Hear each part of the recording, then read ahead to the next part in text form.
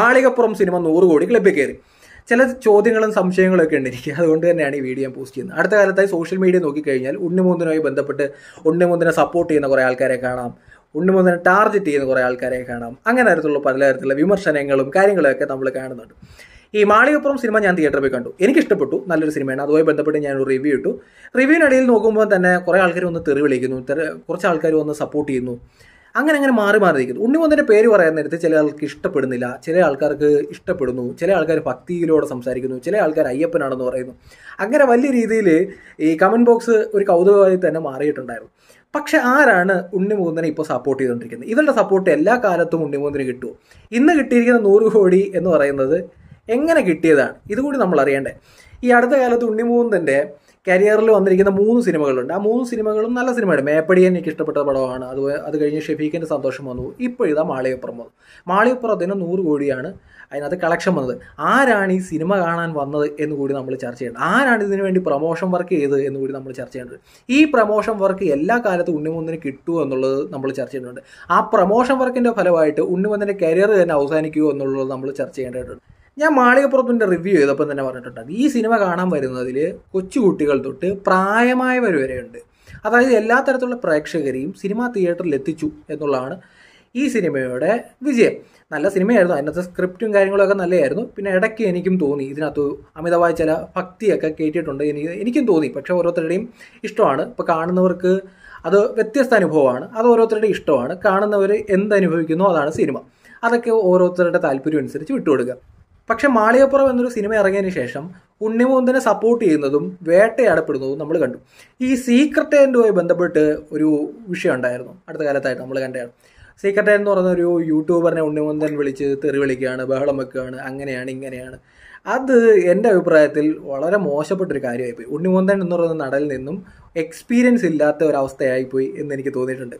ഈ നമ്മുടെ മോഹൻലാലും മമ്മൂട്ടിയൊക്കെ നോക്കിക്കഴിഞ്ഞാൽ ഈ അടുത്ത കാലത്ത് വരെ മോഹൻലാലിന്റെയും മമ്മൂട്ടിയുടെയൊക്കെ സിനിമകൾ നോക്കി. ഇപ്പോൾ മോ മോഹൻലാലിന്റെ പല സിനിമകളും ഫ്ലോപ്പാണ്. മുമ്പ് കുറേ നാൾ മമ്മൂട്ടിയുടെ തുടർച്ചയായ സിനിമകളെല്ലാം ഫ്ലോപ്പായി. വലിയ രീതിയിൽ ആൾക്കാർ വിമർശിക്കുന്നത് നമ്മൾ കണ്ടു. മോഹൻലാലും മമ്മൂട്ടിയും അവരുടെ എക്സ്പീരിയൻസും അവരുടെ കഴിവ് എന്താണെന്ന് മലയാളികൾക്കറിയാം. അവരുടെ ഭാഗത്തു നിന്ന് ഒരു തട്ടിക്കൂട്ട് ഒരു കോപ്രായ സിനിമകൾ വരാൻ നേരത്ത് സമൂഹത്തിൽ നിന്നും വലിയ രീതിയിലുള്ള ആക്ഷേപങ്ങൾ തിരിച്ചുണ്ടാകാറുണ്ട്.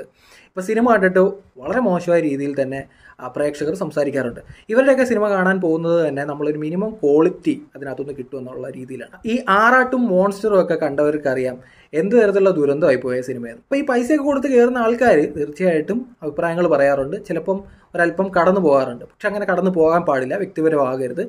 ഒരു സിനിമ എന്ന് പറയുന്നത് കൂടുതലും സംവിധായകന്റെ കയ്യിലാണ് ഇരിക്കുന്നത്. അപ്പം സംവിധായകനെ സെലക്ട് ചെയ്യുമ്പോൾ നടന്മാർ കൂടുതൽ ശ്രദ്ധിക്കുക എന്ന് മാത്രമേ ഉള്ളൂ. കാരണം നിങ്ങൾക്ക് എക്സ്പീരിയൻസ് ഉണ്ട്. പക്ഷേ ഈ എക്സ്പീരിയൻസ് ഇല്ലാത്ത ഉണ്ണിമുകുന്ദൻ സീക്രറ്റ് എന്ന് പറയുന്ന യൂട്യൂബറെ വിളിച്ചിട്ട് തെറി വിളിക്കുകയാണ് ആ സോഷ്യൽ മീഡിയ വന്നു. ഉണ്ണിമന്തം പറയുന്ന ഉണ്ണിമന്തന്റെ വീട്ടുകാരെ പറഞ്ഞു കുട്ടിയെ പറഞ്ഞു എന്നാണ്. പക്ഷേ തിരിച്ച് ഉണ്ണിമന്തം വിളിക്കുന്നത് തന്നെ ആ യൂട്യൂബറിന്റെ വീട്ടുകാരെ തന്നെയാണ്. അപ്പം ഇവിടെ ഞാൻ കണ്ടെന്താണെന്ന് വെച്ചാൽ ചില ആൾക്കാർ വന്നിട്ട് ഉണ്ണിമോന്തിനെ വലിയ രീതിയിൽ സപ്പോർട്ട് ചെയ്യുന്നു. അതിനകത്ത് കൂടുതലും സംഘപരിവാർ അനുകൂലികളായിട്ടുള്ള ആൾക്കാരാണ് ഉണ്ണിമോന്തിനെ സപ്പോർട്ട് ചെയ്തത്. മറ്റൊരു വശം ഒന്ന് നോക്കാം മീഡിയ വൺ പോലുള്ള ചാനലുകളൊക്കെ വന്നിട്ട് ഉണ്ണിമോന്തിന്റെ മാപ്പ് ഇത് ആദ്യമാണോ? ഇങ്ങനെയുള്ള മാപ്പുകളെ പറ്റിയൊക്കെ വലിയ രീതിയിൽ ചർച്ച ചെയ്യുന്നു. ഇപ്പം സി പി ഐ എമ്മിന്റെ അല്ലെങ്കിൽ കോൺഗ്രസ്സോ അതുമായി ബന്ധപ്പെട്ട് എസ് ഡി പി അതുപോലുള്ള ഈ ഇവരുടെയൊക്കെ സൈബർ വിങ്ങൊക്കെ ഒക്കെ ഉണ്ണിമൂന്നിനെ വലിയ രീതിയിൽ വിമർശിക്കുകയും അല്ലെങ്കിൽ ട്രോൾ ഉണ്ടാക്കുന്നതൊക്കെ നമ്മൾ കണ്ടു. ഇപ്പം ആർ എസ് എസിന്റെയും ബി ജെ പിയുടെയൊക്കെ ആൾക്കാർ വന്നിട്ട് ഉണ്ണിമുതിനെ സൂപ്പർ ഹീറോ ആക്കുന്നത് നമ്മൾ കണ്ടു.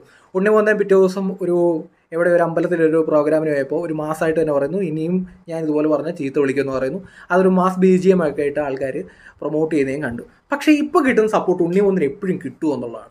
ഉണ്ണിമൂന്നിന്റെ കരിയർ ഈ വളർച്ച ഞാൻ ഇഷ്ടപ്പെടുന്നു. കാരണം അയാൾ അത് അർഹിക്കുന്നുണ്ട്. ഒരു പ്ലസ് ടുക്കാരൻ ഗുജറാത്തിൽ നിന്നും സിനിമയ്ക്ക് വേണ്ടി ഇവിടെ വരികയും ഇവിടെ ഓഡീഷന് വന്നിട്ട് തിരിച്ചു പോകുന്നതൊക്കെ എത്ര ബുദ്ധിമുട്ടാണ് നമുക്കറിയാം.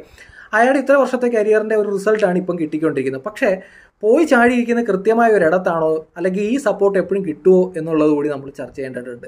ഉണ്ണിമൂന്നന്റെ ഈ സിനിമ നമ്മൾ നോക്കിക്കഴിഞ്ഞാൽ ഉണ്ണിമൂന്നന്റെ ഈ പടത്തിന് വലിയ രീതിയിൽ പ്രൊമോഷൻ വർക്ക് നടക്കുന്നുണ്ട്. ഒരു ഉദാഹരണം ഞാൻ പറയാം. പ്രതീഷ് വിശ്വനാഥ് എന്ന് പറയുന്ന ഒരു ഹിന്ദുത്വവാദിയുണ്ട്. ഇടയ്ക്കിടയ്ക്ക് ട്രോളിൽ വരുന്ന ഒരു വ്യക്തിയാണ്. അത് തീവ്രമായ രീതിയിൽ തന്നെ ഹിന്ദുത്വ വർഗീയത പറയുന്ന ഒരു വ്യക്തിയാണ്. മിക്ക തിയേറ്ററുകളും പത്താൻ സിനിമയ്ക്ക് പകുതി പോലും ആളുകളില്ല. കേരളത്തിലാണെങ്കിൽ മാളികപ്പുറം സിനിമയും പത്താനും കളിക്കുന്ന തിയേറ്ററിൽ ഇപ്പോഴും മാളികപ്പുറത്തിന് വലിയ തിരക്കാണ്. അങ്ങനെ വലിയ രീതിയിലുള്ള പ്രൊമോഷൻ വർക്ക് പ്രതീഷ് വിശ്വനാഥിനെ പോലുള്ള ഹിന്ദുത്വവാദികളിൽ നിന്നും ഉണ്ടാകുന്നത് നമ്മൾ കണ്ടു. യുവരാജ് ഗോകുൽ എന്ന് പറയുന്ന ഇതേ സംഘപരിവാർ അനുകൂലിയായ ഒരു വ്യക്തി ഇട്ട ഒരു പോസ്റ്റാണ്. ഒരു ചലഞ്ച് മുന്നിൽ വെക്കട്ടെ. ഈ സിനിമ കണ്ടവരും കാണാത്തവരും കമന്റ് ചെയ്യുമോ? പല സാഹചര്യങ്ങൾ കാരണം കാണാൻ കഴിയാത്തവരുണ്ടാകും പക്ഷേ ഇന്ന് വൈകുന്നേരം മുതൽ വീക്കെൻഡ് മൂഡിലേക്ക് മാറുകയാണല്ലോ. കാണാത്തവരെല്ലാം കാണണം. ഒരു ചലഞ്ചായി ഏറ്റെടുക്കും. കേരളത്തിൽ നിന്നും ഈ രണ്ട് ദിവസം കൊണ്ട് മുപ്പത് കോടി മാർജിൻ കടത്തണം. വേൾഡ് വൈഡ് അമ്പത് കോടി കടക്കും. അങ്ങനെയാണ് യുവരാജ് ഗോകുൽ എന്ന് പറയുന്ന വ്യക്തി ഫേസ്ബുക്കിൽ പോസ്റ്റ് ചെയ്തിരിക്കുന്നത്. ഇനി പ്രശാന്ത് ശിവൻ എന്ന് പറയുന്നൊരു വ്യക്തി ഇട്ട ഒരു ഫേസ്ബുക്ക് പോസ്റ്റ് ചെയ്യാൻ വായിച്ചു തരാം. വേട്ടയാടാൻ വിട്ടുതരില്ല. ഉണ്ണിക്ക് ഗംഭീര സ്വീകാരമൊരുക്കി പാലക്കാട്. മാളികപ്പുറം സിനിമയുടെ കേരളത്തിന് പുറത്തെ പ്രൊമോഷന് ശേഷം ഉണ്ണി കേരളത്തിൽ എത്തിയ ദിവസം പാലക്കാടിന് ആഘോഷരാവ്. മാളികപ്പുറം സിനിമ വിജയാഘോഷം പാലക്കാട്. അങ്ങനെയുള്ള രീതിയിലുള്ളൊരു പോസ്റ്റ് ഇട്ടിട്ടുണ്ട്. അതിനുശേഷം പ്രശാന്ത് ശിവൻ ഇട്ടിരിക്കുന്ന മറ്റൊരു വീഡിയോ ഉണ്ട്. മണ്ഡലകാലം കഴിഞ്ഞ് നട അടയ്ക്കുന്ന ദിവസം കോഴിക്കോട് ജില്ലയിൽ വടകര കടമേരി ദേശത്തെ മുദ്രകലാ സാംസ്കാരിക വേദിയുടെ പ്രിയ ബന്ധുമിത്രാദികൾ മാളികപ്പുറം കാണാനായി കുടുംബത്തോടൊപ്പം നടത്തിയ ഒരു തിയേറ്റർ യാത്ര. അങ്ങനെ ഈ സംഘപരിവാർ അനുകൂലികളുടെ വീട്ടിൽ നിന്നും എല്ലാവരെയും അവർ സിനിമയ്ക്ക് കൊണ്ടുപോയിട്ടുണ്ട്. വലിയ രീതിയിൽ അതിനുവേണ്ടി പ്രചരണം നടത്തിയിട്ടുണ്ട്. അങ്ങനെ ഒത്തിരി ആൾക്കാർ തിയേറ്ററിൽ എത്തിയിട്ടുണ്ട്. തിയേറ്ററിൽ എത്തിയവർ തന്നെ മൗത്ത് പബ്ലിസിറ്റിയിലൂടെ സിനിമയെ പറ്റി പറയുകയും ആ സിനിമ മറ്റുള്ളവരിലേക്ക് എത്തുകയും അങ്ങനെ ഈ നൂറ് കോടിയിലേക്ക് ഈ സിനിമ എത്തുകയും ചെയ്തു. ഇതിനകത്തൊരു അപകടം എനിക്ക് ഫീൽ ചെയ്യുന്നത് ഇപ്പോൾ ഉണ്ണിബോധന്റെ ഈ സിനിമ പ്രമോഷൻ ചെയ്തു കൊടുക്കുന്നത് സംഘപരിവാർ അനുകൂലികൾ അല്ലെങ്കിൽ ബി ജെ പി അനുകൂലികളാണ്. ഇന്ന് കിട്ടുന്ന ഈ പ്രൊമോഷൻ പേർക്ക് ഉണ്ണിമുകുന്ദൻ എന്ന നടനെ നാളെ എങ്ങനെ ബാധിക്കും എന്നൊരു സംശയം എനിക്ക് ചോദിക്കാനുണ്ട്. നമ്മുടെ ആസിഫ് അലി ഫാത് ഫാസിൽ പൃഥ്വിരാജ് അങ്ങനെ നിവിൻ പോളി അങ്ങനെ കുറേ ആൾക്കാരുണ്ടല്ലോ ഉണ്ണിമോഹനെ പോലെ തന്നെ മറ്റ് നടന്മാർ ഇവർ പലതരത്തിലുള്ള സിനിമകൾ ചെയ്യാറുണ്ട്. സഖാവായിട്ട് അല്ലെങ്കിൽ കോൺഗ്രസ്സുകാരനായിട്ട് അങ്ങനെ അങ്ങനെ അങ്ങനെ പലതരത്തിലുള്ള ക്യാരക്ടേഴ്സ് നമ്മൾ മോഹൻലാൽ മമ്മൂട്ടിയൊക്കെ ചെയ്തിട്ടുണ്ട്. എല്ലാവർക്കും രാഷ്ട്രീയമുണ്ട് ഇല്ലെന്നൊന്നും ഞാൻ പറയുന്നില്ല. നാളെ ഇതുമായി ബന്ധപ്പെട്ടൊരു നല്ലൊരു സ്ക്രിപ്റ്റ് ഉണ്ണിമുകുന്ദൻ സഖാവായിട്ട് ചെയ്യുന്നു എന്ന് വിചാരിക്കാം. ഉണ്ണിമുകുന്ദൻ ഒരു കോൺഗ്രസ്സുകാരനായിട്ട് ചെയ്യുന്നു എന്ന് വിചാരിക്കാം. അതിൽ സംഘപരിവാറിനെതിരെ ഒരു വിമർശനമുണ്ട് എന്ന് കൂടി നമ്മൾ ആലോചിക്കാം. അപ്പോൾ എന്താകും ഉണ്ണിമുകുന്ദന്റെ അവസ്ഥ എന്ന് എനിക്കറിയില്ല. നമ്മൾ അടുത്ത കാലത്ത് കണ്ടല്ലേ പൃഥ്വിരാജിന്റെ ഒരു സിനിമ വരുന്നു വാര്യൻകുന്നൻ എന്ന് പറയുന്ന സിനിമ. അതിനെതിരെ ഉള്ളൊരു പ്രൊമോഷനും അല്ലെന്നുണ്ടെങ്കിൽ വിമർശനവും നമ്മൾ കണ്ടതാണ്. അങ്ങനെ ഓരോ സിനിമകൾ ഇപ്പോൾ പത്താന്റെ പേരിലുള്ള വിമർശനം കണ്ടതാണ്.